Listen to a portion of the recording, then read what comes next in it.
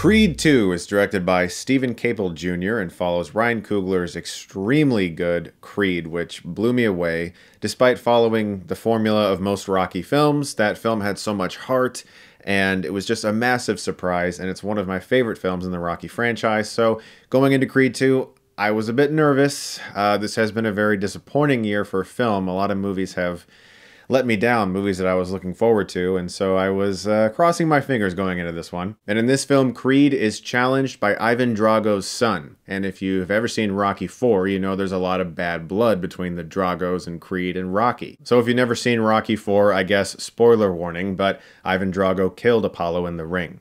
And so there's a lot of anger there from from Donnie in this film and he really wants to avenge his father's death. And so the boxing match that we're all hoping to see has a lot more drama and a lot more weight behind it personally for these characters, uh, especially because this film actually does a really great job of fleshing out the Drago family.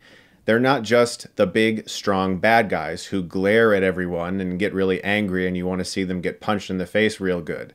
They actually set up a lot of behind the scenes personal drama with them and I was very taken aback by that. And that's something about this movie that felt very fresh when compared to the other Rocky films. I actually understood the bad guys. I understood their position. They have as much on the line as Creed does in the movie, so you can almost get invested in both sides. And it makes it a considerably more emotional experience than perhaps Rocky IV would have taken these characters if this exact film was made in the late 80s. Because this is a movie that takes the Rocky Four uh, characters and what went on there. A very cheesy, very silly 80s movie with Hearts on Fire, which I still listen to and is absolutely incredible. By the way, I made a crappy Rocky montage one time with that song with my buddy John Flickinger. Here's a clip.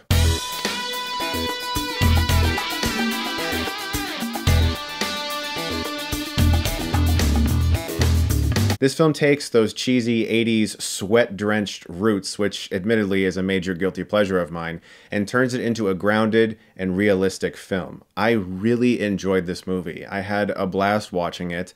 I felt something. This movie made me feel something. Uh, my cold, jaded heart was broken into by this movie, and I actually had emotions. And a lot of that is due to Michael B. Jordan, who is one of the best actors of his generation. When that guy gets going, man, and he's he's got the tears flowing and, and he's just so energetic about what he wants to do and he's so passionate.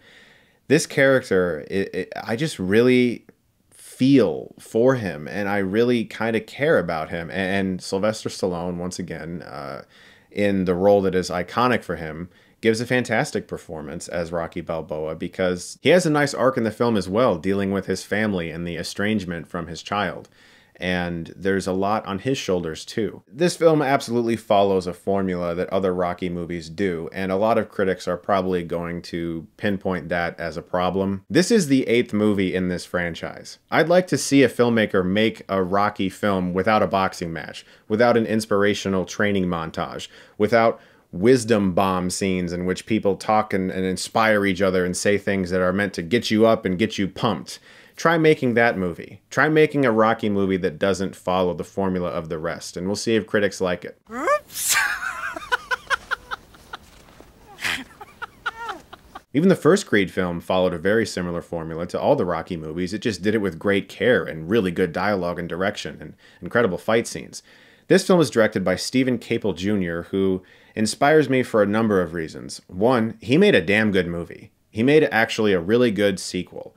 But he's also from Cleveland, where I'm from. And he's a good filmmaker from here. And he's out there and he's working and he's making good shit. Like, that's very inspiring to me, someone who is also, since I was 14, uh, been trying to make short films and, and stuff like that and, and, trying to get my name out there too in regards to filmmaking. And so that's super inspiring to me. And, and I think he did a great job with the film. The boxing matches are very white knuckled. Uh, there's some really good POV shots. Nothing quite as interesting as the one take that was in Creed, but I also understand that um, you wouldn't want to just do another one take sequence. You want to put your own stamp on this film. Dolph Lundgren was actually really excellent as Ivan Drago. Again, I must emphasize that these villain characters were given a lot of meat Uh, they weren't just the bad guys with muscles that uh, punch things. Like they, they really had a lot behind them, and I, I started to understand both sides.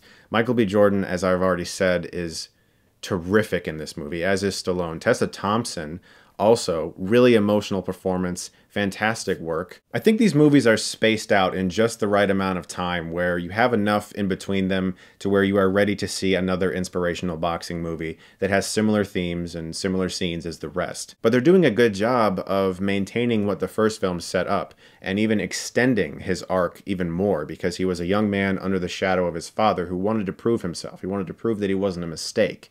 In this film he's proved that but now he has this nagging thing that's that's under the surface what happened to his father and if there's some way he can kind of make it right in his mind.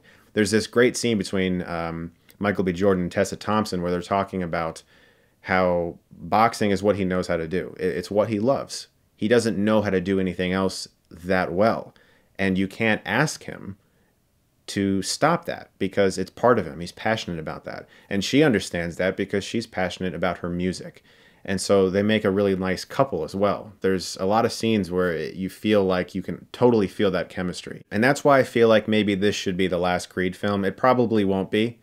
But just the fact that this is a good movie and it's not a terrible movie and it still maintains the Rocky legacy as well as the Creed legacy and takes it to new heights in regards to what they can do with that character, I feel like he's had his arc.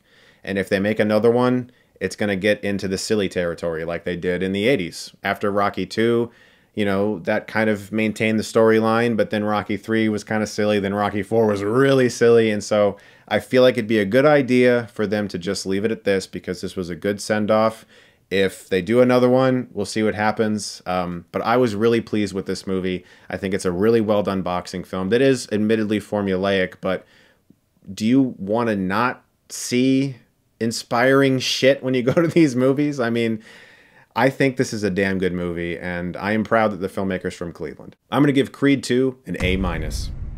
Guys, thank you so much as always for watching. Uh, look forward to more reviews very soon, as well as an interview with Steven Caple Jr. I was able to meet him and talk to him for a while. We talked about filmmaking, short films, Sundance, all kinds of stuff. Um, really a genuine guy, like super real. I was really uh, happy to be able to meet him and talk to him, and that interview will be up in a few days.